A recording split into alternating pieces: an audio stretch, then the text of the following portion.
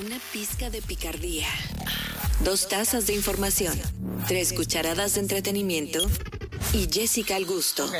La receta perfecta para la radio del mediodía. Jessica en punto. Gana unos AirPods Pro gracias a Vivi Tech. ¿Qué es lo que tú vas a hacer? En este video vas a comentar qué parte de la entrevista o de bloque es el que más te gustó y el que más comentarios deje. Pues en 15 días sacamos el ganador. Así que tienes que estar suscrito, dar like y recuerda comentar en todos los videos de Jessica en punto qué te parecen. Y esto, nuevecito de paquete, es tuyo. Y recibimos, señores, con un aplauso y una bullita súper cariñosa a una mujer que es luchadora. Ella es sinónimo de fuerza, guerrera, que ha sabido ser el ave fénix en situaciones difíciles en su vida. Y es un ejemplo a seguir, una mujer la cual todas nosotras tenemos que admirar y sacar un plato aparte porque otras hubieran caído en una depresión grave. Y ella, y tocando fondo, ha sabido volar. Bendiciones para ti, mi hermosa Joana Beato, en Jessica en punto. ¿Cómo estás? Bárbaro. Muy bien, muchas gracias por la invitación. Un placer y admiración para todos. Ay, Bella, vamos para el oyente a ponerlo en contexto. Acuérdate que han pasado varios años y yo te conseguí en Instagram y te vi. Yo dije, wow, cuánto tiempo y mira qué linda está, mira cómo ha logrado sus sueños.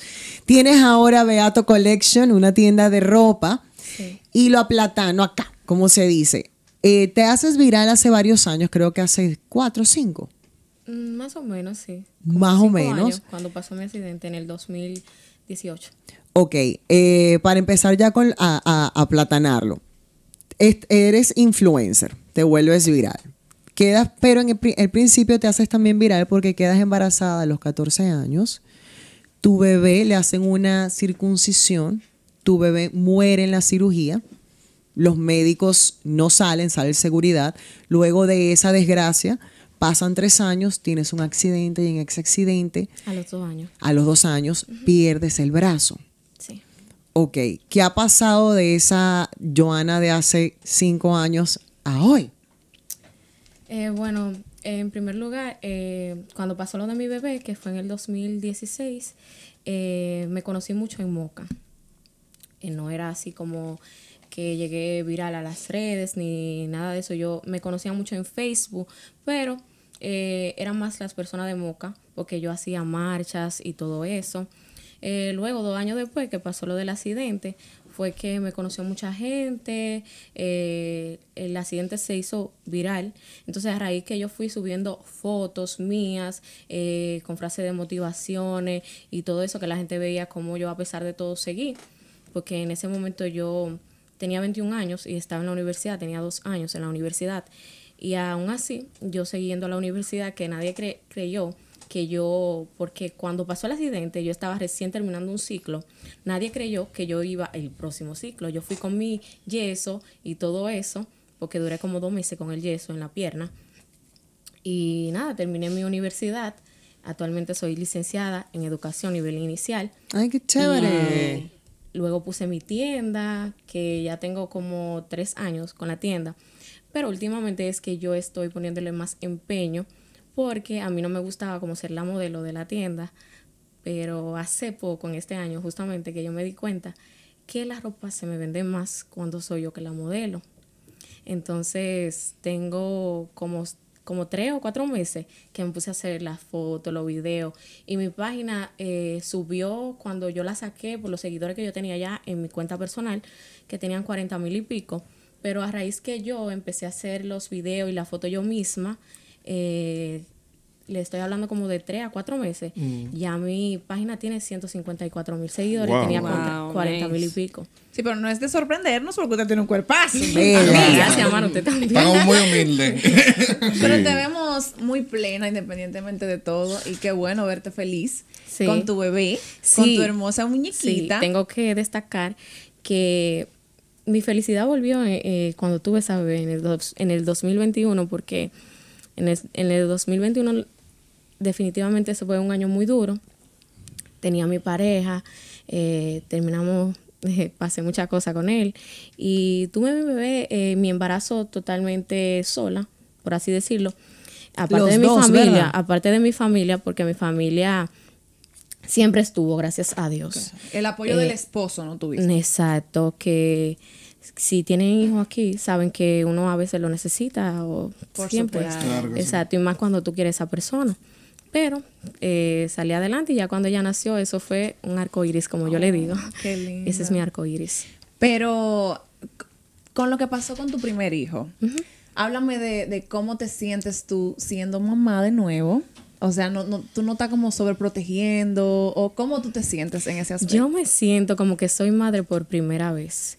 Aparte de que ya hace bastante tiempo que yo tuve el bebé, porque yo lo tuve en el 2011 y la niña yo la tuve en el 2021. Entonces, yo no tenía, ajá, no tenía la, las- la misma oportunidad, no tenía la misma madurez.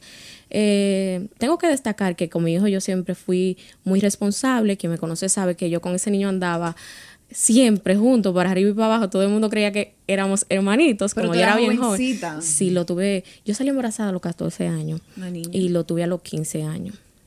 Wow. Wow. Sí, hoy en día, en el mes que viene, cumpliría 12 años. Wow. Confiesas en algunas entrevistas que has sufrido de episodios de depresión y todavía y todo eso, ¿no? Con tu bebé de ahora, el bebé arcoiris, ¿todavía sigues teniendo episodios de depresión? No exactamente, pero cuando me hablan de mi bebé, de mi primer hijo, mi primogénito, entonces sí me llegan eh, recuerdos, eh, me da nostalgia, entonces por más que yo quiera, sí caigo, pero realmente me pasa mucho tiempo para que vuelva a pasar, porque al principio, eh, en los primeros años, eso era siempre y diario, yo, yo lloraba a diario. Es que eras Es muy que niña un también. Y tú eras una niña. Y entonces éramos muy apegados. 14 como un yo. bebé. Éramos 15. Éramos muy apegados, él y yo. Y yo lloraba siempre. e incluso al principio yo culpaba mucho a Dios. Tuve que ir a un retiro espiritual para que ya eso me sanara. Y luego de eso eh, y de varias como...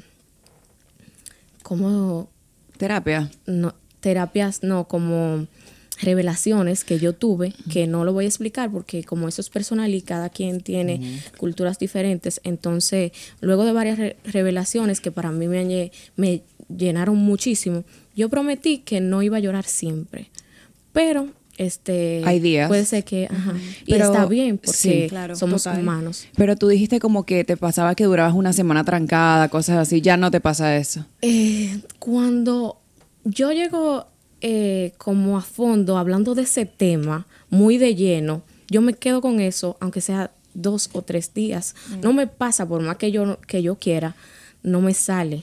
Pero entiendo también que tu bebé arcoiris te ayudó a que tienes esa responsabilidad y tienes que cumplir ese rol. Entonces Muchísimo. no te puedes niña- quedar trancada tanto tiempo. Exacto, pero yo digo que es un milagro, de verdad. Ese nombre que yo le tengo, la, mi arco iris, es, que realmente ella lo es para mí, porque esa niña no me puede ver con la cabeza abajo. Ella, si me ve callada, va y me da besos. Y ella no habla todavía, pero uno siente el amor, mami, y me ala, y todo eso. Es súper lindo, esa, esa oportunidad, esa nueva oportunidad que Dios me dio de ser mamá. Qué lindo, qué lindo. Mira, Realmente. todo el mundo necesita un apoyo a su lado. Brian. Alguien, espérate, pero déjame. Brian, te ya. conocemos. Espérate, porque yo quiero, el chamaquito quiere saber. Ah, Usted Brian. No aprovecha ninguna oportunidad. actualmente Está tiene pareja. Eh, no, no, no. Yo tengo. Estás conociendo a alguien. Colaborador. Está conociendo a alguien. Un colaborador. Un colaborador. Está colaborando. Mira, me, me miraste. Se está riendo como mucho. Me miraste. Está reyendo. Eso gusta. Mira. Ay, Siguiente pregunta, mi amor. Siguiente pregunta. Amor, yo tengo entendido que tú haces mucho TikTok y, y tus redes sociales son bien grandes. ¿Cómo manejas tú la crítica de tus videos? ¿Qué te digo? Al principio, eh, para mí eso fue como súper duro también, porque eh, la gente hace mucho comentario. No hacía, hace todavía. Hace todavía. eh, feo, mm, de burlas y todo eso. Y eh, ha sido algo con lo que yo he aprendido a vivir también, porque yo me sentía mal, obviamente, Obvio. porque como todos, yo tenía mis dos brazos normales y obviamente yo nunca me iba a imaginar que yo en algún momento Eso iba a te iba a perder uno, iba a estar en esta situación. Pero hay gente también que piensa que es inmortal, porque eso le puede pasar a, A cualquiera, de cualquiera, nosotros. sí. Incluso a- no en la calle o en un accidente que me pasó a mí, hasta en tu casa, tú puedes- a- hasta por una comida que te comes. Claro, la vida te cambia en Ajá, 30 exacto. Exacto. Entonces hay gente que por el humor negro y que está muy famoso hoy en día, Sí. No se da cuenta que con eso tú puedes la- lastimar a una persona. Lo que pasa es que yo creo que la gente también, Joana, entiende y, y son como estúpidos porque te ven bailando sexy y tú eres una mujer bella, Hermoso. normal. Ajá. Y Creen que yo no lo puedo hacer también, No, que no porque tengo no, tienes, no tienes tu extremidad, no puedes bailar sexy. Pero ven acá, o sea, no entiendo que tiene que ver una cosa con la otra. Sí, porque ya que lo mencionas, yo he visto comentarios de gente que me dice, en vez de estar en una iglesia metida, vela bailando, que sé yo, que yo soy muy creyente, Wow. yo soy muy Qué creyente y yo digo que una cosa no tiene que ver con la otra, porque para mí es más importante que tú seas buena persona, que tengas un corazón limpio, que no te metes, metas ni critiques a nadie, que el que tú andes con una falda larga metida en una iglesia y criticando a todo el mundo por Y seas detrás. hipócrita. Claro. Exacto. Yo creo, que, yo creo que tú le causas un shock a la gente que, aún teniendo sus extremidades, no se decide a ser feliz ni es feliz. No, no. Entonces, eso es lo que pasa, que tú les reflejas eso, de que tú vives y eres feliz. So que soporten. No, y, Exacto. y que hoy en día hemos visto muchas personas que visten con su camisa hasta aquí, la, la falda hasta y son unas desgraciadas en la vida real. Mira, a, a medida que ha pasado el tiempo, yo he mejorado mucho mi autoestima, porque al principio yo no usaba eh, blusas así de Sí. tirito ni nada de eso. Al principio yo tenía que usar suéter por aquí, que me taparan como yo uso esta venda, Sí. porque me protege el muñón porque está muy pegado de, el hueso está muy pegado de la piel. Entonces yo tenía que usar obligatoriamente suéter por aquí.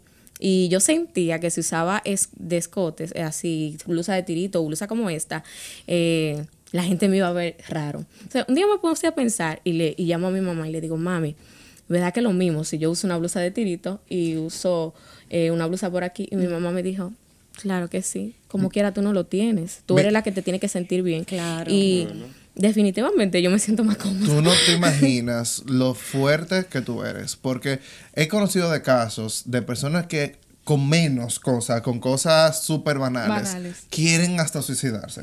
Y mi, tú que con, con eso, que quizá para muchas personas es el fin del mundo, mira cómo tú has sa- salido ade- adelante, has montado tu negocio, sigues haciendo tu vida común y corriente como cualquier persona. Entonces tú debes estar muy orgullosa de Sí, ti. en verdad yo me siento muy orgullosa cuando yo recibo mensajes así eh, de gente, Johanna, yo me sentía mal, hoy no quería salir de mi casa, vi un video tuyo y dije, mírala a ella, como, ha- y como ha seguido adelante, entonces yo puedo. Eso me hace sentir, me hace sentir súper bien, porque yo he visto comentarios de, de- de gente diciéndome, ella se cree influencer porque pedí un brazo y ahí está bailando. yo estoy bailando porque... ¡Se envidia! Exacto. Eso envidia que no se Pero puede. mismo, felicidad, son más comentarios lo que me dicen, tú me, ayu- me has ayudado y Es eso me inspiras enorgullece. de verdad. Claro que sí. Mira, amiga, tú sabes que yo tengo algunas incógnitas. Vamos, vamos a tu pasado. No, señor, Sí, que sí. eh, quedaste embarazada a los 14 años. Eh, tu, eh, tu primer hijo, su papá se entera de su nacimiento después que nace. Después que nació. ¿Cómo pasó eso? Porque yo lo que entiendo es que yo, bueno, en un momento donde ya la, existen redes, eh, me imagino que sé yo, o, o se conocían, ¿cómo él llegó a enterarse después de un año? O sea, ¿tú, Eh, no, tú de- querías que él se enterara? ¿O fue algo, literalmente, tú no, tú no tenías ningún tipo de contacto, ni en Facebook, ni en nombre, ni nada? Mira qué pasa. El papá de mi hija, de mi hijo, eh, era mayor que yo. Yo tenía 14 años y era mayor de edad. Él me lleva 11 años. Entonces, cuando nosotros estuvimos juntos, él se dio cuenta que fue mi primera vez. Y cuando él se dio cuenta, entonces él no me tomaba la llamada. Pero Porque- tú sí intentaste con- eh, contactarte Sí, todo con el él. tiempo. Ok. Todo el tiempo, perdóname que lo vaya a decir en público porque no te va a gustar, pero él incluso se me hizo pasar porque estaba muerto. No. Porque él Ay, pensó, no me lo hagas. él pensó que, que mi familia le iba a hacer algo porque yo era una niña, yo tenía Era 14 menor, años. Entonces, cuando yo, una de las veces, de las tantas veces que yo intenté comunicarme con él, él me dijo, es de su misma página, no es él, es un primo de él. Él tuvo un accidente y él vive, él vive en Estados Unidos. Él tuvo un accidente y en la próxima semana lo van, le van a traer el cuerpo. Yo te voy a avisar Ay, para que vaya a su Ay, Dios, Dios, qué lo que La gente no tiene límite. Sí, imaginarse que era un bebé. Él tenía una novia mucho mayor que yo, claro, que sí combinaba con él. Y ella me ofreció hasta golpe, hasta que me iba a cortar, para que yo no lo volviera En- a, a buscar. En ese momento, ya él era consciente de que tú estabas embarazada No, de un bebé nunca, de él. nunca, porque cada vez que yo le escribía, siempre era algo. Una vez fue una novia, otra vez fue lo del... La muerte. lo de La muerte. Exacto. ¿Y quedaste embarazada en tu primera vez? Eh, sí. No. Wow. Y, y duré mucho para volver a hacerlo también. Claro, y no, buena experiencia. Eso, para que sepan cómo él lo pudo saber, yo seguí contactándolo y contactándolo. Y, y le hablé una vez, ya cuando él lo supo, fue del, del Facebook de una prima mía. Y yo le dije, Ángelo, soy yo. eh, Ay, dije el nombre. Soy yo. Vamos a, vamos a ver por eso. No importa, no importa. soy yo, eh, Joana, yo quiero hablar contigo. Eh, tengo que hablar algo contigo muy serio. Y él me dice, ah, está bien, llámame. Ahí como que yo tenía un tiempo, par de, par de meses que ya yo no le había vuelto a escribir, por lo de la muerte y eso.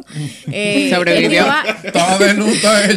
ya él estaba Estaba tranquilo. Y me dijo, ah, está bien, este, mándame tu número que se me perdió para llamarte. Y cuando me llama me dice, hola, ¿qué de tu vida? Vale, Y yo, "Hola", yo le hablé muy bien, muy Milagro. normal, como que no pasaba nada.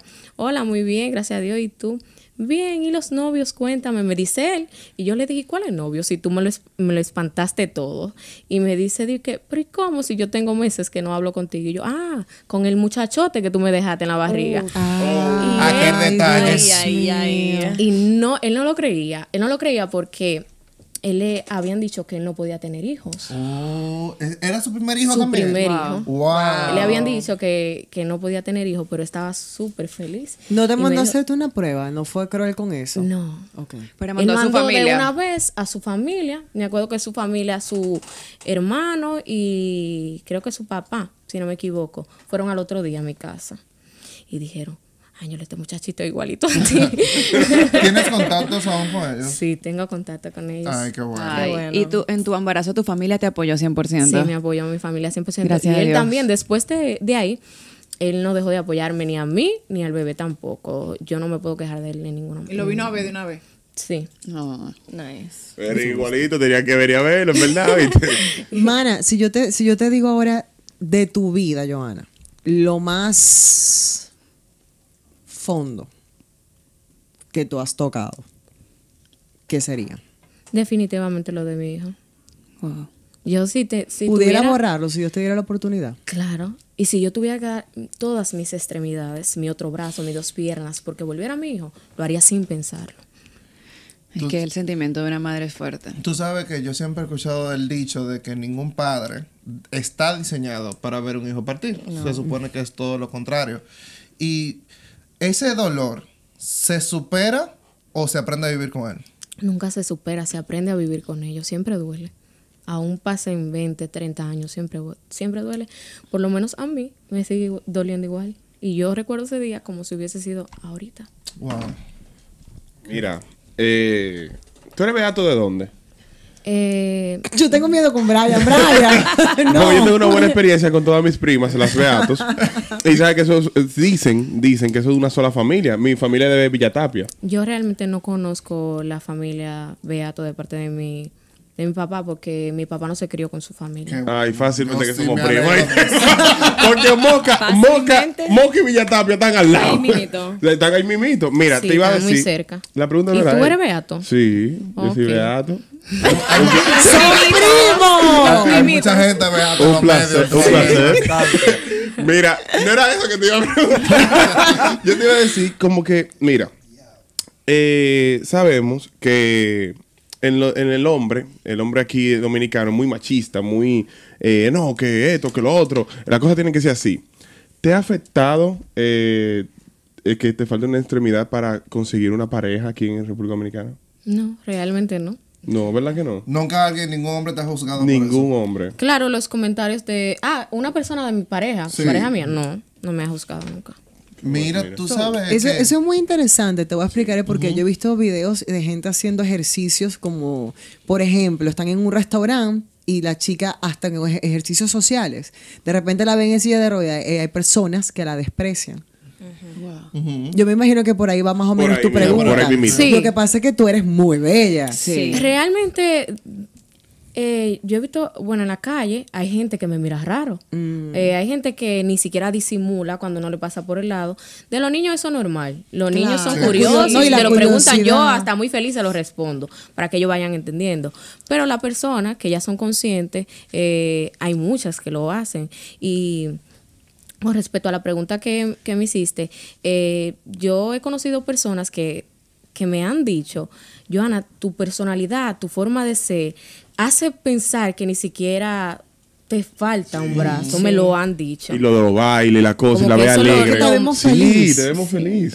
Y bonita, y bonita. ¿No has pensado nunca usar prótesis o la has usado? Sí, yo la he usado. Incluso yo tengo una que mis seguidores me ayudaron a comprar hace un tiempecito con un GoFundMe que hice. Son carísimas. Sí, y esa es económica y, y salió cara aún así. ¿Cuánto es te de la salió? más económica, salió como por 300 mil y pico. Oye, Pero es Y más súper... económica. te lo digo porque yo Y es ayudé, yo ayudé a un muchacho que le faltaba un pie. Súper incómoda. Sí, es la gente me dice a mí que porque yo no la uso. Esa, yo no sé, yo sé que habrán otras más cómodas. Estoy esperando a un muchacho que me dijo que me iba a ayudar con una. Pero esa es súper incómoda, me aprieta Y muchísimo. que supuestamente todos los años hay que cambiarla, Ajá. ¿verdad? ¿Cómo? Los, todos los años hay que cambiarla. Tiene que cambiarla de vez en cuando, sí, eh, los colores. La uña tiene que cambiártela, sí. Mira, Pero y- yo no la uso porque estéticamente se ve un poquito bonito. Porque disimula que la gente te esté mirando tanto. Claro. Pero es súper incómoda porque te pesa mucho. Es algo que está, por lo menos esa, ahí como que no me ayuda en nada. ¿Se mueve sola no? No se mueve. Ah, es para que finjas que tienes un brazo Exacto. y que no se vea. Ah. Exacto. Y por ahí mismo tú has sufrido de tener miembro fantasma. ¿Te duele? Lo tengo, sí. Sí. ¿Cómo es? ¿En la noche? Eh, es súper incómodo. En la noche no, ahora mismo. Todo el tiempo. Sí. está. Tú sientes que lo tú tienes. estás moviendo los dedos y todo esos Wow. o los tendones que, que, que uno tiene. Tú sabes, mira, que el tema de, de- de la sexualidad en la, edu- en la educación es un tema muy, muy que la gente se vuelve como loca Muy cuando lo tabú. mi- muy tabú, exacto. Tú fuiste, tú quedaste embarazada a los 14 años. ¿Tú entiendes que si en la escuela se te hubiera dado una educación sexual temprana, el resultado hubiera sido diferente o eso no hubiera cambiado el resultado? Claro que sí, no solamente en la escuela, también en la casa, porque mi mamá y mi, y mi papá son, eran como, o son aún todavía muy, Muy cerrados Muy cerrados. Eh, y cuando yo estaba embarazada, te digo que yo pensaba que yo iba a amanecer que y era un sueño, que eso no me estaba pasando, que yo no podía creer, incluso después que él nació, yo lo veía y yo decía, no, esto no pudo haber salido de mí. Sí, claro. Esto es como un sueño y esto y como que increíble. Es algo que, imagínate, yo no tenía ni un poquito de uno por fresca y todo de- eso, de que pero no debe- tenía la, la educación sexual adecuada. en Se ese debe momento. promover la educación sexual a niños tem- en temprana edad porque estamos hay que ser claros, o sea, estamos viendo el embarazo en niñas de, de hasta 11 años. Sí. Y quizás es por falta de información. Ok, quizás después que nace es una bendición y no hay nada de que arrepentirse. Sin embargo, sabemos que ninguna niña entiende que es ideal tener un embarazo a, a esa edad. Yo estoy de acuerdo con que se implemente realmente porque te digo algo, no todas las jóvenes tienen la oportunidad que tuve yo, ni la suerte que tuve yo, de que tuviera dos padres responsables Ah, sí. que te ayudaran, que nunca eh, Te echaron a la calle. me echaron a la calle y me ayudaron para que yo siguiera estudiando, porque yo solamente dejé mis estudios un solo año, que fue hasta que él caminara para volver a la universidad ya, y que cuando mi mamá llegara de, a la universidad, no, a la, a la secundaria en ese momento, eh, cuando mi mamá saliera del trabajo, me lo agarrara y yo poder seguir estudiando. No todas las jóvenes tienen esa oportunidad. Por eso sí, deberían implementarlo en la, en la educación. Ven acá, y con el hospital que pasó lo del niño, ellos resolvieron con algo, te dieron la cara. ¿En qué quedó la demanda? De ellos dar la cara nunca la dieron. Eh, se dio la cara porque fue obligatorio, porque nosotros demandamos. Y la demanda nosotras la ganamos. Pero eh, lo que le impusieron fueron dos años con su licencia cancelada, lo cual ellos siempre siguieron A trabajando. un doctor. A los dos. Ah, eran dos doctores. El anestesiólogo y el cirujano. ¿Y qué, ¿Y qué te dijeron que fue la anestesia? Eh, ellos mismos hablaron y dijeron, mientras estaban en las, en las, La sala de en la sala de, De en la sala del palacio. De de juicio. de juicio, exacto. Ellos, uno de los dos dijo que fue que el otro mandó a que lo durmieran de nuevo. Ay, Dios mío, pero. Y yo no sé si ustedes vieron la entrevista, que a mí nunca se me dijo que era anestesia General. es general, sino local. Entonces, ellos no lo durmieron solamente una vez, ellos lo durmieron dos veces. Y eso se hace Entonces, en, mientras estaban en el juicio, uno de los dos de ellos dijo, uno de los dos de, de los dos dijo, perdón, que cuando el niño ya estaba despertando, que le faltaba uno o dos puntos, él le dijo el cirujano que se lo volviera a dormir, pero que el anestesiólogo le dijo que no era necesario. Y él le dijo que sí, que quería que volviera a dormírselo. Entonces, después de ahí fue que él se puso mal. Claro. Se pasaron de anestesia. Eso se hace con el peso del niño y si se lo ponen otra Exacto, vez. ellos no si- ni siquiera ni siquiera sabían que cuánto ellos pesaban, porque cuando el niño se puso mal, ellos salieron como tres o cuatro veces preguntándome primero que cuánto pesaba, que Oh, de- qué que era negligente. que si había comido algo. Ellos salieron varias veces a hacerme de a una pregunta. Todo eso Ellos ya en el proceso en de el la cirugía. proceso de Ellos la lo que cirugía, estaban viendo es que justificar para echar la culpa a otra cosa. Amor, para una persona que ha pasado dos cosas tan trágicas en la vida, a mí me da mucha curiosidad saber cómo tú lograste salir adelante, cómo tú dijiste, yo no me puedo dar por vencida, yo voy a seguir. gracias a los padres que tengo, que me han ayudado mucho. Mi mamá es muy trabajadora. Eh, creo que saqué eso de ella. No me gusta como estar estancada. Me gusta, tengo una visión. Me gusta superarme, me gusta trabajar, me gusta producir. Amén. Y es, eso de estar en mi casa acostada como que no es para mí. So, aunque te sentías muy triste así, tú decías, bueno, me voy a parar y... Claro, tengo que superarme, tengo que salir adelante por mi hijo, porque mi hijo, donde quiera que esté, tiene que estar orgulloso de mí, igual mi hija, que ahora tengo gracias a Dios, tiene que estar orgullosa de mí, saber que tiene una madre guerrera, luchadora y que lo va a dar todo por ella. Muy luchadora. Dios no le da guerra a quien no la pueda pasar. Amén. Y fíjate tú qué paz transmites con tantas cosas que ha pasado en tu vida y muchas personas, y me incluyo, que no hemos pasado ni cerca de ti, nos enredamos por nada, sin validez. O sea, que lo tuyo siendo cosas tan importantes, mira cómo tú has sabido pasarlo, tener ese amor, esa armonía. Todavía en la entrevista, en una de las de Lord Jaques que me encantó, dijiste que gracias a Dios a ellos no les pasó nada. Y tú perdiste un brazo. O sea, tú todavía sí dices, Dios mío, gracias que a nadie le pasó nada, sino nada más a mí. O sea, ayer está dando gracias a Dios que a los demás no le pasó nada. ¿Qué persona piensa así? Yo siempre pienso, ¿por qué no le pasó a otro y a mí sí? O sea, Tristemente. Entonces, sincerizándonos, mucha gente también se cuestiona eso y mira cómo tú tienes tu alma tan pura, tan noble y por eso te sigue bendiciendo la vida. Y te linda. dio a tu bebé y te vienen cosas maravillosas. Tienes a Beato Collection lindísima y sale dándolo todo, mi amor, modelando, perreando como debe de ser. Y no le bajes. No le bajes. No le bajes porque a los demás les gusta lanzar piedras, pero la gente que brilla como tú es la que más le tienden a lanzar. Gracias, gracias. Da las redes tuyas preciosas para que te sigan. Síganme en mi cuenta personal, arroba Joana Beato, y en mi tienda, Beato Collection, rayita abajo. Y está soltera, Brian. Aleluya, El gloria. la receta perfecta para la radio del mediodía. Jessica en punto.